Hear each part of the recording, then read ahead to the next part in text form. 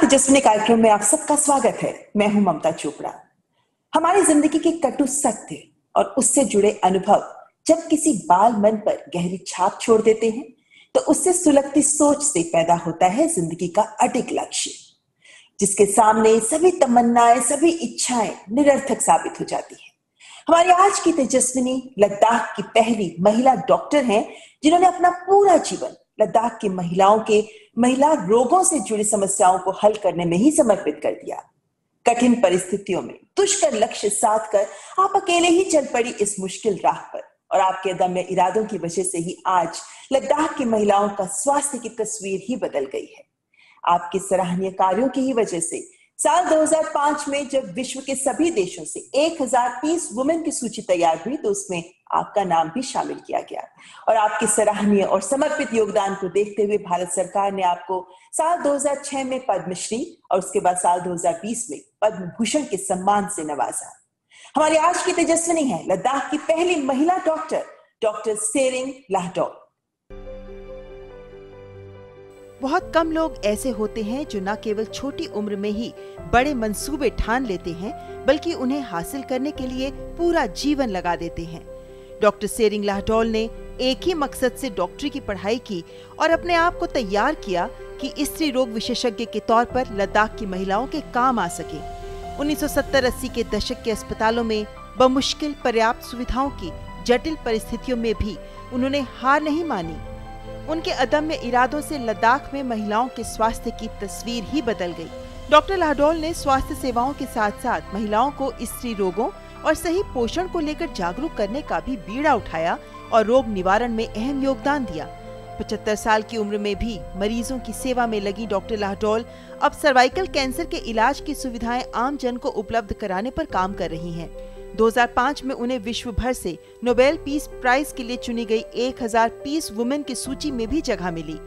केंद्र सरकार द्वारा स्वास्थ्य के क्षेत्र में उनके सराहनीय योगदान के लिए पद्मश्री और पद्म भूषण से सम्मानित लद्दाख की पहली महिला डॉक्टर डॉक्टर सेरिंग लाहडोल ही हैं। हमारी आज की तेजस्विनी। डॉक्टर लाहडोल बहुत बहुत स्वागत है आपका हमारे कार्यक्रम तेजस्विनी में। थैंक यू आपको देख के कतई विश्वास नहीं होता है डॉक्टर लाडोल कि इस उम्र में you are seventy five years now इस उम्र में भी आप Yes. एक्टिव हैं और पेशेंट्स भी देखती हैं क्लिनिक भी जाती हैं? जी जी बहुत खूब बहुत खूब। और इस वजह से आप इतने लोगों के प्रेरणा स्रोत हैं आज डॉक्टर लाडोल आपकी ज़िंदगी एक ऐसी कहानी है जो बहुतों को प्रेरित कर सकती है। इसीलिए आपसे शुरुआत करना चाहूँगी इस सवाल के साथ कि 1979 में जब आप डॉक्टरी, डॉक्टर बनी थी, उस वक्त कैसा माहौल था? किस तरीके की सुविधाएँ उपलब्ध थी? कैसे डॉक्टरी की प्रैक्टिस आपने हॉस्पिटल्स में की उस समय? जी हाँ एक छोटा सा डिस्ट्रिक्ट हॉस्पिटल कहा जाता था। बहुत ही छोटी सी, जहाँ पे फैसिलिटीज़ ऑलमोस्ट मिनिमम थी। तो शुरू से रिस्टार्ट करना पड़ा। टेबल से एग्जामिनेशन टेबल से लेके ऑपरेशन थिएटर हर एस्पेक्ट्स में सारा कुछ बिल्कुल नए से। मैं पहली गाने कॉलेजिस्ट यहाँ पे पोस्टिंग हुई थी। यहाँ पे गन- हमारे मेरे लिए कोई ऐसी चीज़ नहीं थी जो रेडीमेड हो। हर एक चीज़ शुरू से ही डिमांड करना पड़ा। ये चाहिए वो चाहिए Aahista Aahista Aahista it took long time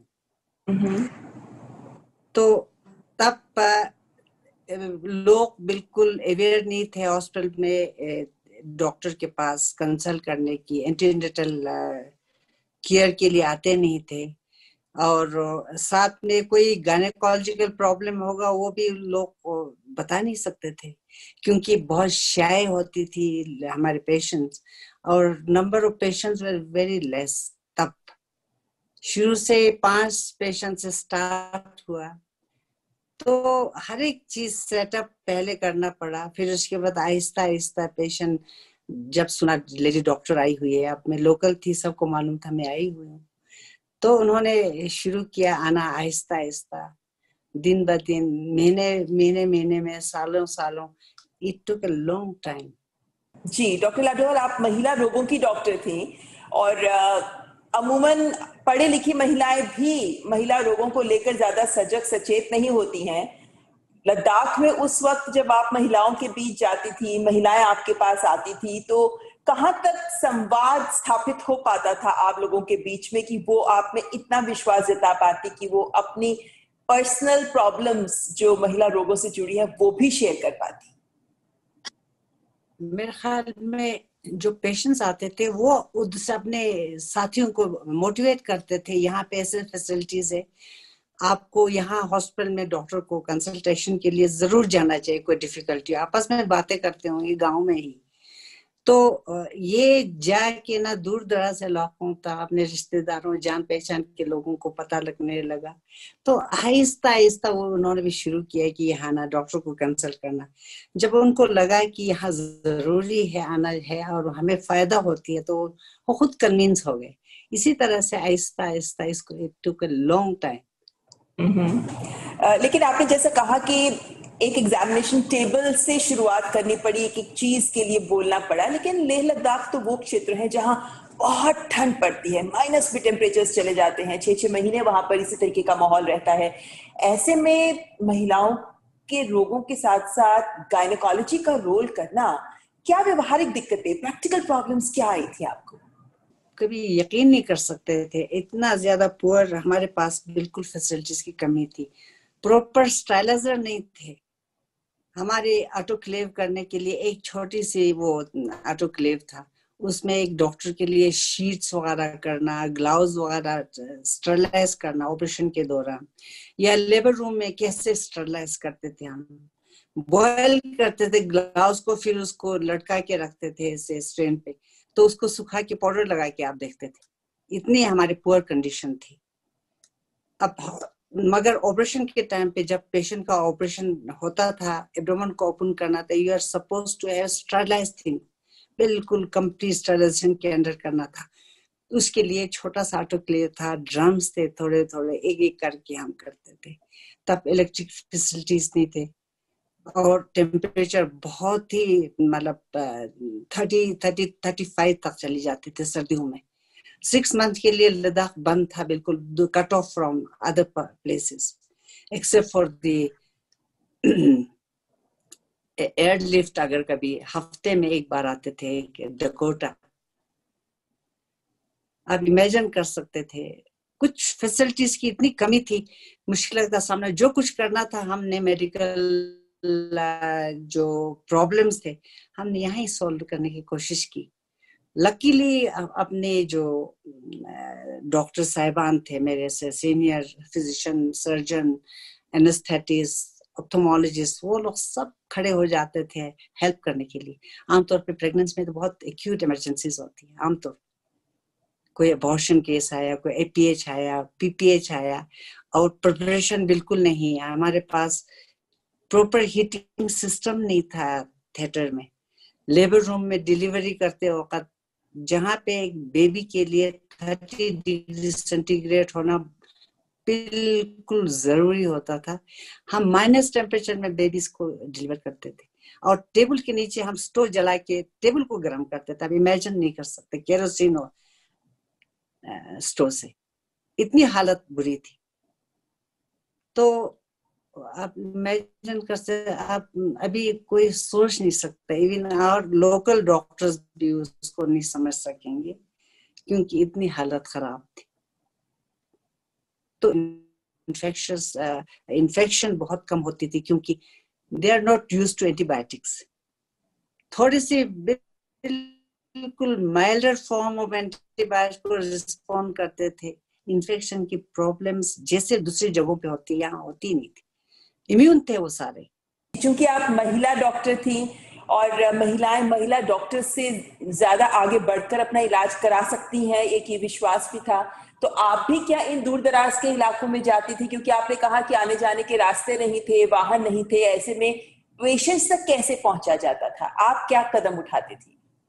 लेकिन मैं घोड़े पे चढ़ के एक सिर्फ़ छोटे छोटे हिली एरियाज़ में रात को कभी जाना पड़ता था, घोड़े में जाते, घोड़े पे चढ़ के जाती थी पेशेंट्स को लेने के लिए। कभी कभी एक्यूट इमरजेंसीज होते थे, बहुत सीरियस पेशेंट एक गाँव में गई थी।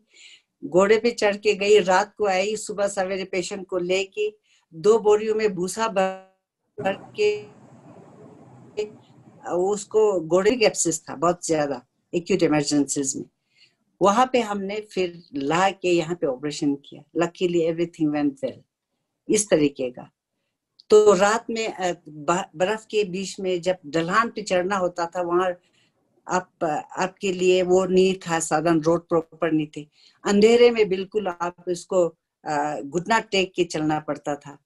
वैसी हालत में भी गए। क्योंकि मैं इतनी टफ थी, क्योंकि अपना ज़िंदगी ऐसी इलाके में, मैं पली पलन मेरी पोषण यहाँ ही हुई थी, यहाँ पैदा हो गई थी। हर एक हालत को मैं समझती थी।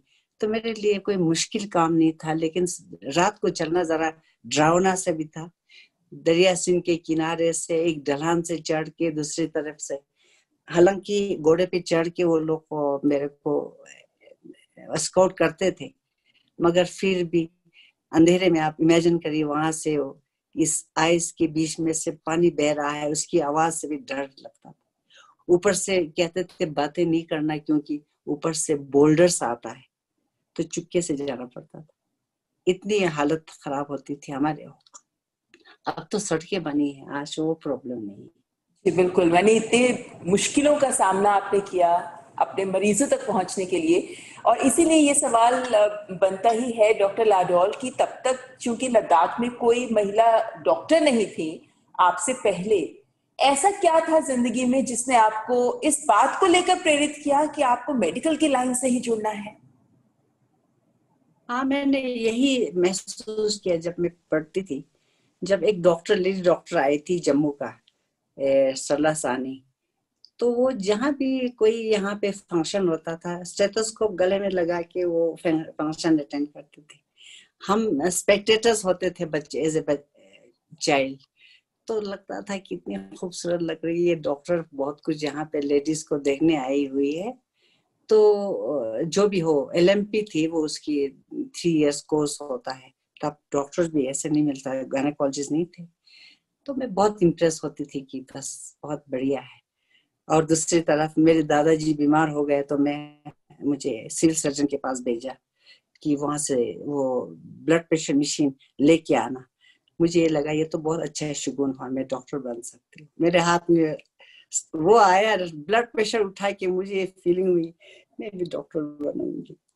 इसी तरीके से अब जब महिलाओं को डिलीवरी की प्रॉब्लम्स ब्लीडिंग की प्रॉब्लम्स कोई भी प्रॉब्लम हो की डेथ होती थी, मैं सोचती इतनी ज़रूरत है हमारी जगह पे, जिसको देखने की ज़रूरत है, उनकी केयर करने की ज़रूरत है, उनको एजुकेट करने की ज़रूरत है। प्रिवेंटिव जो रोल मेरा बहुत था, एक गानी इन ऑब्स्टेटिक्स में, खासकर मेरे ख्याल में एटी परसेंट इज़ प्रिवेंटिव जो ऑब्स्टेटिक प्रॉब्लम है। पहले से उनको वार्निंग दे के हाई रिस्क को स्क्रीन करना, उनको समझाना, आपकी सेहत में तो डाइट न्यूट्रिशन तो साथ में उनको बताना है हाइजीन कितनी ज़रूरी है। अब अपने हेल्थ का ख्याल कितना रखना है, अपने, जो खाने को स्किप नहीं करना है। ये चीज़ें मैंने फील किया कि इसकी ज़रूरत है यहाँ पे।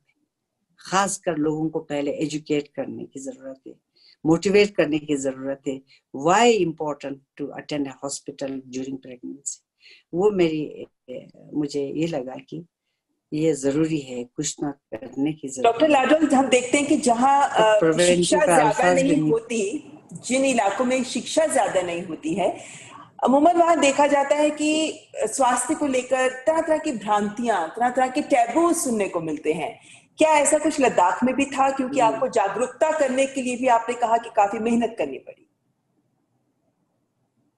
जी हाँ पहले जब भी डिलीवरी होती थी एक लेडी अनटचेबल भी हो सकता था। कहते देव देवता था अपनी डिफरेंट फैमिलीज़ के लोग उस पर नहीं आ, उनके साथ नहीं बात कर सकते थे। उनके उनके साथ मुलाकात नहीं करते थे क्योंकि उनको डर था हमारे देवता नाराज़ हो जाएँगे फिर हम पे कुछ बुरा असर होगा। उस टाइप के टेबल्स थे। तो मेरे अपनी फैमिली में मेरे मदर जब डिलीवर उनकी डिलीवरी होती थी जब मैं मेरे छोटे ब्रदर सिस्टर जब डिलीवर हुआ तो हमें इजाज़त नहीं होती थी इनके कमरे में जाने की। और मेरा, हमारे फैमिली का डायटी बहुत कहते, माना जाता था, सब लोग डरते थे उनके घर में, जिनके घर में डिलीवरी मतलब किसी और के हमारे घर में काम पे आते थे तो वो गेट से नहीं आते थे। जो काम के लिए भी आए तो वहाँ से बुलाते थे कि, बताइए, ये हमें चाहिए, वो चाहिए, ऐसी बातें होती थी। इस हर एक फैमिली में ऐसा ही है कि जो सोशल गैदरिंग्स वगैरह, एक किसी के पास आप सात दिन के बाद जा सकते थे, किसी के पास एक महीने के बाद। मेरे अपनी फैमिली में एक महीने के लिए बच्चों को माँ की कंफाइनमेंट रूम में जाना मना था। और उनके, जो उनको खाना खिलाते तो असिस्टेंट जो उनकी उनकी, उनको जरा सा सर्विस देती थी। एक बर्तन अलग से देते थे किचन से बना के उसमें उल्टाते थे। नॉन टचेबल महिलाओं की मुश्किलें तो और बढ़ जाती होंगी ऐसे हालात में। लेकिन डॉक्टर लाडवाल आपके जैसे परिवार की अगर हम बात करते हैं तो खेती बाड़ी का काम था आपके परिवार में। आपके माता पिता भी ज़्यादा पढ़े लिखे नहीं थे। तो ऐसे में चूँकि एक ज्वाइंट फैमिली भी थी तो आपकी जिद थी कि आपको पढ़ाई करनी है या फिर आपके माता पिता का भी पूरा सपोर्ट मिला आपको कि नहीं हमारी बेटी पढ़ना चाहती है तो उसे पढ़ाए? बहुत ही मैं कहती हूँ, मेरी मेरी फैमिली में सबसे ज़्यादा मेरे फादर मेरे ग्रैंड पेरेंट्स इतने ज़्यादा सपोर्टिव थे, कहते हैं वो तुम ज़रूर डॉक्टर मेरे फादर के जो, मेरे दादाजी के भाई थे, उन्होंने कहा, मैं, हमारी बेटी ये जो डिलीवरी वगैरह नहीं कर सकेंगे. इट इज़ नॉट अलाउड ये नहीं होगा. हमारे देवता नाराज़ हो जाएँगे. मेरे, दादाजी कहते थे अच्छा काम करने के लिए कोई बुराई नहीं होता है। You you may do anything इतना ज़्यादा फ्रीडम थी मेरे लिए। वो विश्वास मेरे से, वो वो मेरे को ये पता लगा, मुझे कोई शक होने की गुंजाइश ही नहीं रखा था। कहते हैं अच्छा काम करे, कोई भी, कोई देवता नाराज़ नहीं होता। आप ज़रूर मेडिकल में जा सकते हो हैंडल कर सकते हो प्रेग्नेंट लेडीज़ को। आप डिलीवरी अटेंड कर सकते हो, कोई डर नहीं इस टाइप की मेरे उनकी विजनरीज थे। मेरे दादा मेरे फादर मेरी दादी दादी हमें ग्रूम करते थे।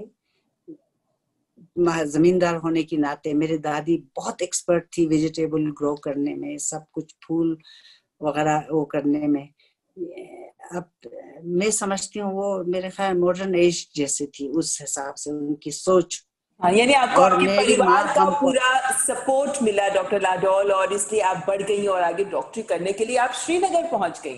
तो जब आप डॉक्टरी की पढ़ाई कर रही थी तब भी क्या कुछ मुश्किलें आई आपको? और साथ ही इसके साथ जोड़ के पूछना चाहूँगी कि जो आपके अध्यापक थे किस तरीके की ट्रेनिंग हुई आपकी? किस तरीके की मेडिकल की शिक्षा थी आपकी उस दौर की? क्योंकि पुराने वक्त की बात कर रहे हैं हम। जी हाँ मैं अब देखिए, श्रीनगर गई शुरू शुरू में। कॉलेज में बड़ी प्री नर्सिंग प्री मेडिकल मैंने पढ़ा। वहाँ पे भी मुझे बहुत सपोर्ट मिला। उसी हॉस्टल में कॉलेज की कैंपस में में हमारे गर्ल्स हॉस्टल थी। वहाँ पे तो टीचर्स थे, बाहर से डिपुटेशन पे आए हुए। वो लोग भी उस स्टाफ रूम में रहते थे। अगर मैं लद्दाखी होने के वजह से वो बिल्कुल डिफरेंट थी दूसरों से। बोल चाल में रहन सहन में कोई थोड़ा सा उनसे अलग से थे। तो उनको ये लगा, ये बहुत दूर दराज के आए हुए हैं। उन्होंने कहा, कोई मुश्किल होगा, कोई सब्जेक्ट पढ़ाना हो तो तुम ज़रूर हमारे पास आ जाना। मैं जाती थी उनके पास और वो लोग मुझे साइंस पढ़ाते थे। फिर जाके मेरे प्री मेडिकल करने के बाद मैं मेडिकल कॉलेज में सीट मिला। तो वहाँ पे मुझे लगा, अब तो मैं बहुत ही अच्छा हो गया, मैं यहाँ पे फिक्स हो गई हूँ। अब मैं अच्छी तरह से पढ़ूँगी। बहुत मेहनत की, बहुत मेहनत की। क्योंकि हमारी एजुकेशन स्टैंडर्ड वो चीज़ नहीं था जो श्रीनगर के लोगों को था। अपनी बराबरी के लिए, अपने उसके लिए बहुत मेहनत करना पड़ा। और लकीली टीचर्स बहुत मेहरबान थे। उनको पता था कि इतने दूर दराज इलाके से आई है तो इनको जरा सा हम इनकरेज करें। क्या हम ये माने डॉक्टर लाडोल कि आप हमेशा यही सोच के अपने आप को तैयार करते रहिए एक डॉक्टर के तौर पे कि आपको लद्दाख की महिलाओं के जाकर सेवा करनी है? क्या ये सोच हमेशा आपके मन में स्पष्ट थी क्योंकि इतनी मुश्किलें थी वहाँ पे और आपके सामने मौका था? अगर आप चाहते तो कहीं भी किसी बड़े शहर में जाके प्रैक्टिस कर सकती थी। लेकिन नहीं, आप तो वापस लद्दाख गई। जी हाँ कोई वैसा ऐसी कभी बनक भी नहीं पड़ी मेरे को, सोच में कोई चेंज शुरू में जो सोची, मैं उस पर डटी रही। क्योंकि ये यहाँ ज़रूरत थी, जहाँ शहरों में इतने डॉक्टर्स हैं फैसिलिटीज़ है, सब कुछ है करने के लिए। हमारे वहाँ पे था ही नहीं कुछ। तो एक लोकल इंसान जो समझ सकता था उनकी मुश्किलों को तो उस तरीके से मैं बिल्कुल अच्छी तरह से समझ के आई थी और मेरी यही एम थी कि मैं वहाँ जाके ही सर्विस करूँ। जो हो सकता है मेरे से। वो मेरे में हमेशा रही है ये ए, मेरे हालत में कोई चेंज नहीं है लेकिन आपने में डॉक्टर लाडौल आपने अपनी ज़िंदगी में शादी नहीं की है। क्या ये आपकी अपनी मर्ज़ी थी कि आपने शादी नहीं की डॉक्टरी सेवा में ही लगी रही? और अगर आपकी अपनी मर्ज़ी थी तो परिवार ने क्या विरोध नहीं किया इस बात का? बिल्कुल मेरे लिए फ्रीडम था, बिल्कुल जो मैं चाहती थी वही करने। एक तो मैं बहुत मेहनती, मेहनत करती थी कि मैं डॉक्टर बनू। उसी में इतने बिज़ी रहे, सोच में कोई वो नहीं आया बदलाव। और साथ ही साथ में मेरी ये थी, पहले मुझे गायनिकोलॉजिस्ट बनने का भी आइडिया नहीं था। जैसे जैसे एमबीबीएस पास किया, मेरे टीचर ने एनकरेज किया you must do gynaecology now तो एडमिशन लिया और वहाँ पे फिर तो समझ लीजिए मुझे मेरा सब कुछ अच्छा फुलफिल होने लगे थे। बहुत चीज़ें जो जो आते गए सब कुछ फैसिलिटीज़ मिलते गए एनकरेजमेंट मिलता गया इंस्पिरेशन मिली इन चीज़ों से मेरे में और बदलाव आए। लेकिन आपकी ज़िंदगी में आपको इतना अनुभव मिला है डॉक्टर लाडोल। कई पीढ़ियों के आपने बच्चों की डिलीवरी करवाई है ये कहना गलत नहीं होगा। क्या है ऐसा जो जी, आप उत्साहित करता रहा ज़िंदगी भर कि आप लगातार आगे बढ़ के काम करती रही? जी हाँ क्योंकि लोगों का मेरे को बहुत सपोर्ट मिला बहुत प्यार मिला है। उसी ने मेरे को ज़्यादा ज़्यादा इंस्पायर किया कि मैं और कुछ करूँ और कुछ करूँ मैं इससे बढ़ के मतलब पीछे मुड़ के कभी नहीं देखू। तब और अभी क्या फ़र्क नज़र आता है आपको? क्योंकि मेंस्ट्रुएशन मेनोपॉज ये ऐसे विषय होते हैं जिन पर खुलकर बात ही नहीं होती है। आजकल भी बात नहीं होती है लेकिन लद्दाख में तब और अब में क्या फ़र्क है? ओहो शुरू में तो बिल्कुल कुछ समझते नहीं थे लोगों को पता भी नहीं था। अब यहाँ तक की है उन्होंने अब सब में मुझे लगता है कि एजुकेटेड हो गए हैं वो अवेयरनेस बढ़ी है। खुद आते हैं वहाँ पे पूछना नहीं पड़ता है।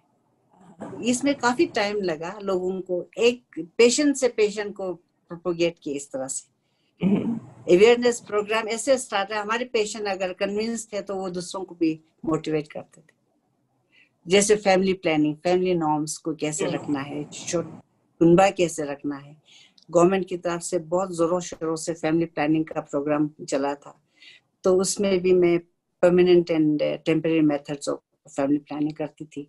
उसके लिए मैं कैंप से ऑर्गेनाइज करते थे प्रिफ्री में रिमोट एरियाज़ में with my team under local exam इसके, वो मैंने ऑपरेशन परफॉर्म किया विदाउट ऑपरेशन टेबल इमेजिन कीजिए, इसमें इम्प्रोवाइज जैसे ऑफ़िस की कोई टेबल लेके उस पर टांगे लगा के फिर उसके बाद हम उनको पोजीशन दे के ऑपरेशन करते थे।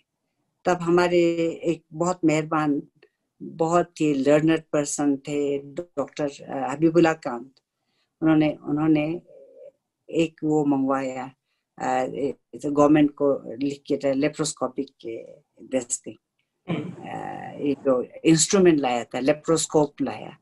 तो तो उसके लिए ट्रेनिंग के लिए मैं श्रीनगर एक महीने के लिए गई थी। गवर्नमेंट ऑफ़ जे के में जब हम स्टेट में थे तभी बहुत चेंजेस आ चुके थे। नया हॉस्पिटल मिला है सैनिक हॉस्पिटल उसमें सारे फैसिलिटीज़ हमारे सारे स्पेशलाइज डॉक्टर्स आए हुए हैं, अपने लोकल्स अब इमेजिन कीजिए, तब की और आप में अब गायनेकोलॉजिस्ट छह छह सात सात गायनेकोलॉजिस्ट हैं, लद्दाख में। सर्जन पाँच पाँच छह छह फिजिशियन पाँच पाँच छह छह पीडियाट्रिशियन है एनेस्थेटिस्ट है ऑप्थोमोलॉजिस्ट है ईएनटी स्पेशलिस्ट है साइकोलॉजिस्ट है। साइकेट्रिस्ट है क्लिनिकल साइकोलॉजिस्ट है अनगिनत इतना अच्छा है। और फैसिलिटीज़ बहुत बढ़िया है हीटिंग सिस्टम है प्रॉपर टॉयलेट है प्रॉपर इलेक्ट्रिसिटी है रनिंग वाटर है, तब कुछ भी नहीं था। हर एक चीज़ को आपको स्टोर करना पड़ता था। लेम लेके आप पेशेंट को इंजेक्शन लेने जाते थे। अब यकीन कीजिए प्रॉपर हमारे पास टॉयलेट नहीं था। इतनी हालत खराब थी। अब तो आप समझ लीजिए it is one of the best district hospital in the state very good यानी डॉक्टर लगाल आपने खुद बहुत मेहनत की और ये मेहनत आप लगातार करती रही। ये नहीं कि एक बार डॉक्टरी पढ़ ली काम खत्म हो गया आप लगातार अपने आप को ट्रेन करती रही। लेकिन यहाँ पर डॉक्टर लाडौर आपसे कुछ छोटे छोटे सवाल पूछूँगी उनके जवाब आपसे लेते हैं। शुरू करें। जी जी जी ज़रूर। आपकी ज़िंदगी का सबसे बड़ा सबक क्या है? जी मैं सोचती हूँ मैं जो काम करूँगी उसको ठीक ढंग से करूँगी ऑनेस्टली करूँगी विदाउट एनी डिस्क्रिमिनेशन ओके आपके टीचर्स आपके अध्यापकों की तरफ़ से डॉक्टरी का सबसे बड़ा लेसन जो आपने सीखा हो? वो ही कहते थे be punctual in your duty ये आप ऐसे नहीं करें कि देर से जाएँ तो आपको ड्यूटी करना ही है टाइम पे जाओ।